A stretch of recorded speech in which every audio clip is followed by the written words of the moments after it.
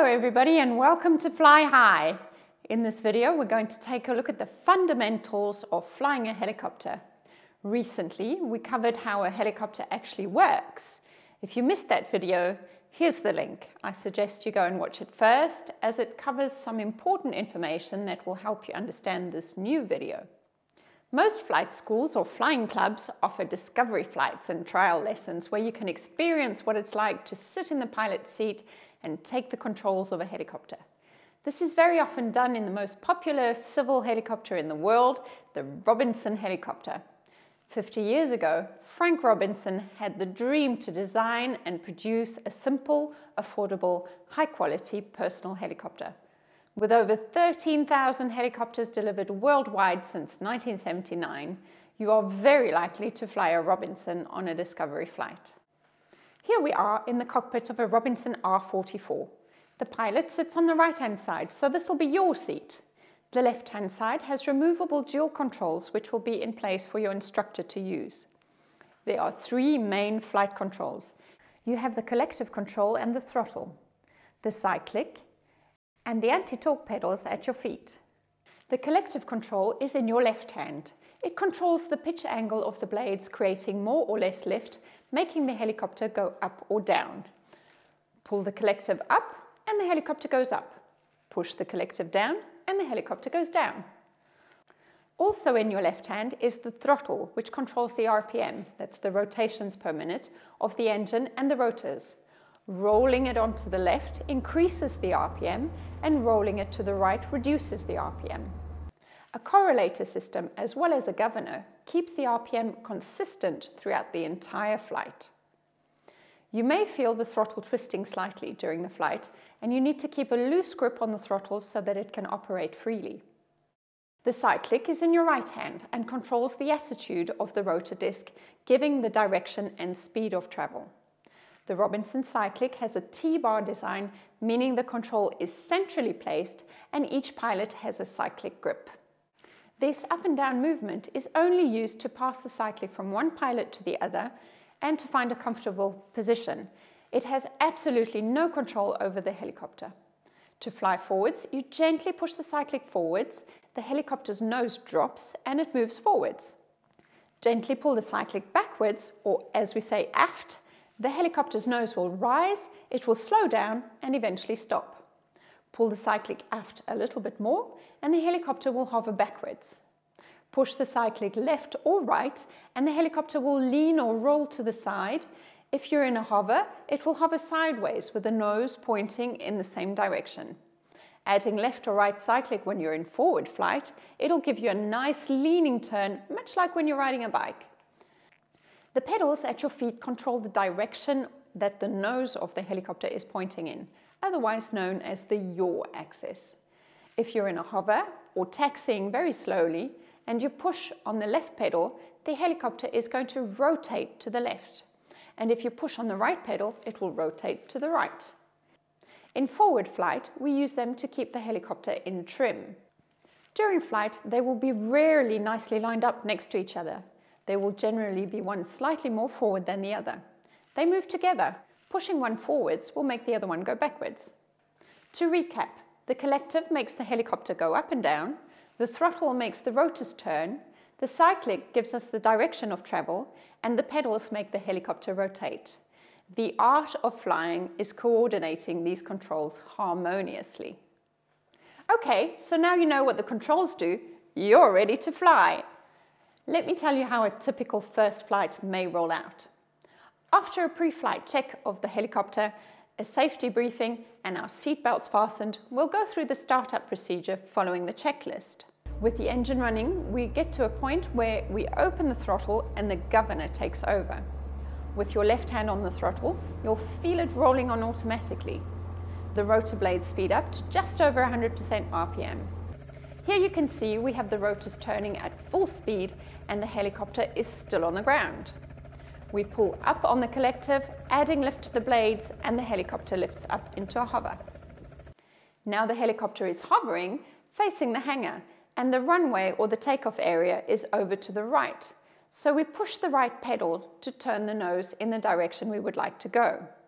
We gently push the cyclic forwards and have the helicopter hover forwards following the yellow lines towards the runway. Here you can see the student pilot following along by ever so slightly touching the controls. Now you're probably wondering why we take off on a runway if a helicopter can do vertical takeoff. It's mostly for safety reasons. Whenever there is a runway and it's possible to use it, we choose the runway. In a very unlikely event of an engine problem during takeoff, we'd have the whole runway in front of us to land on, and the helicopter will have the necessary speed and RPM settings to land safely without an engine in an auto rotation. Here we're lined up on the runway and ready for departure. The art of flying is coordinating all the controls, so to take off, we're going to push the cyclic forwards to hover forwards. Keep pushing it forwards to pick up speed, and then we lift the collective to climb into the air. The takeoff will most probably be done by the instructor, but as soon as the helicopter is at a good safety height, the student is invited to take the controls. You need to try and stay nicely relaxed. Flying doesn't work well if you're all tense and uptight. Take a moment to find a comfortable position, particularly for your right hand. The controls are hypersensitive. These machines are controlled with tiny but very frequent movements. The inputs are so small, we can compare them to the movements you make when writing with a pen. When writing, you place your hand on the table to hold it steady, and you only move your fingers in very small movements to control the pen for nice handwriting. It would be very difficult to control the pen with a whole arm. Same goes for the cyclic. You need to place your hand on your leg to keep it stable, and only move your fingers in very small movements to control the cyclic.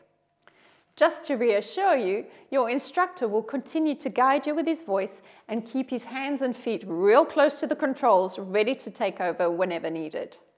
Right, here we're in mid-air and the idea in this introductory lesson is to fly straight and level and not as if you're on a roller coaster. If you drive a car, you're on the road, so it's easy, you just follow the road. But how do you do this in a helicopter? We will be in visual flight rules.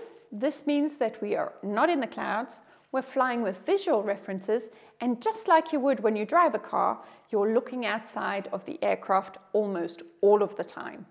You just check the instruments from time to time to confirm what is happening outside. In the beginning, we will mostly concentrate on looking outside, and the instruments will come later. In a Robinson, to fly level, we have this very useful instrument that is placed directly in our line of vision that you can use as a reference. It's actually a compass, but don't worry too much about the direction it's showing for now. Your instructor will keep the helicopter straight and level while you memorize very precisely where the compass is positioned in reference to the horizon. If you are tall, it could be slightly below the horizon. If you're short, it could be slightly above but generally it's somewhere on or close to the horizon. Your job is to keep it there by using forward and aft cyclic inputs. If you see that the compass has moved way above the horizon, it means your helicopter has a nose up position, it's climbing and slowing down. Adjust the cyclic slightly forwards to bring the compass back to the right position on the horizon. But if it goes too far and you see that the compass has moved down below the horizon, it means your helicopter has a nose down position and so it's gaining speed and descending. You will need to pull back on the cyclic to bring the nose up again, to bring the compass back to the right position on the horizon. Take your time getting used to the extent of the movements and adjust them to keep the compass on the horizon and the helicopter stable. Next, the idea is to fly in a straight line and not zigzag all over the place. For this, we'll use the central bar as a visual reference. Look as far ahead as you can and find a big landmark, for example, a mountain, a forest, a road, or something like that.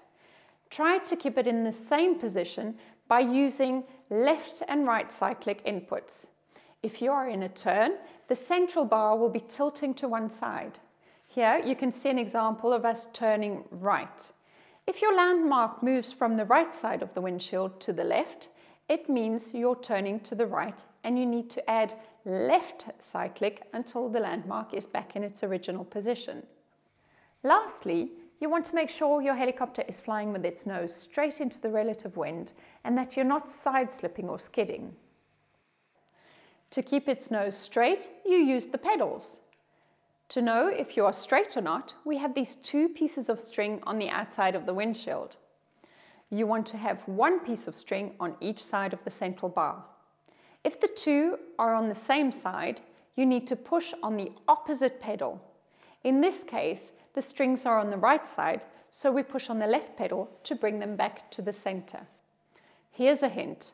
When you have enough forward speed, your helicopter is aerodynamically designed to keep itself nice and straight, so you will need very little or no input if you keep your feet nice and light on the pedals.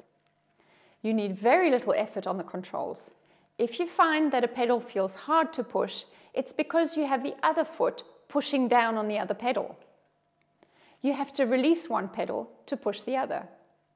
We spend a good part of the flight practicing flying straight and level.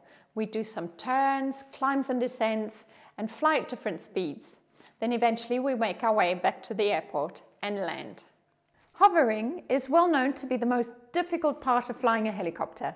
Your instructor will probably have you try each control individually at first, while he or she controls the rest. For this exercise, the helicopter will be positioned facing a reference point, such as a tree or the windsock.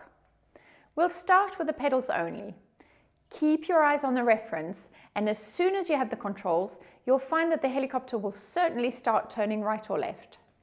As soon as you see the helicopter turning in one direction, you have to push the pedal opposite to the direction of the rotation. If the helicopter turns right, Push the left pedal to prevent it from turning and even bring it back to face the reference point. Once you've mastered the pedals, we can do small rotation exercises, making 180 degree turns or complete 360 degree rotations. Afterwards, the instructor will take over all three controls facing the reference point for the next exercise, the collective. On his instructions, you pull the collective gently upwards to make the helicopter go up a few meters and then gradually lower the collective to slow down the climb, come to a halt, and then very gently bring the helicopter back down again. Once you've mastered that, to hover, you need to try and keep the helicopter at a constant height. You'll find that it is necessary to slightly adjust the collective constantly with very small inputs. For example, if the wind accelerates, the helicopter will go up, so you have to lower the collective a tiny bit and then vice versa, when the wind slows down again, the helicopter is going to go down, so you'll have to pull the collective slightly up again. After this exercise, the instructor will take over all three controls again and then let you try the cyclic. You'll see this is the sportiest part of the hover. It's very important to keep your eyes fixed on the reference point far ahead and not look at the ground in order to detect the slightest change in the attitude of the helicopter. Any change in its horizontal position results in the helicopter moving. As soon as it starts to lean to one direction, it will move in that direction. If it leans to the left, it will hover to the left. If it leans to the right, it will hover to the right. If the nose drops, it will hover forwards. If the nose rises, it will hover backwards. There will always be a very small delay of about a second or half a second between the moment it starts to lean or tilt and the moment in which it starts to move. The goal is to correct the attitude at this precise moment before it moves. You need to act very quickly, but with tiny movements. If, despite all your concentration and effort, the helicopter moves, don't necessarily try to stop it or bring it back to the original position. You could land up doing a backwards and forwards motion. Just try to get it horizontal again and you'll find the helicopter will eventually stop. And of course, the art of hovering is to coordinate all three controls, so once mastered individually, we'll start to combine two of them and then all three. Successful hovering can take several sessions, so don't be discouraged and keep on trying. By now, you have probably understood that even if you have a good understanding of how to use the controls, it's not just a matter of finding the right position and holding it. No, you can't take your hands off the controls like you can in an aeroplane. You are constantly adjusting the controls, not only to make the helicopter do what you'd like it to do, but against outside elements like wind or, or a passenger shifting in his seat.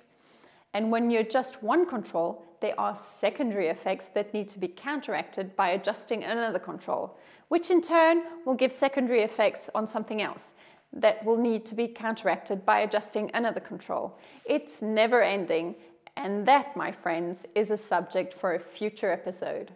Subscribe so you don't miss out. See you next time on Fly High.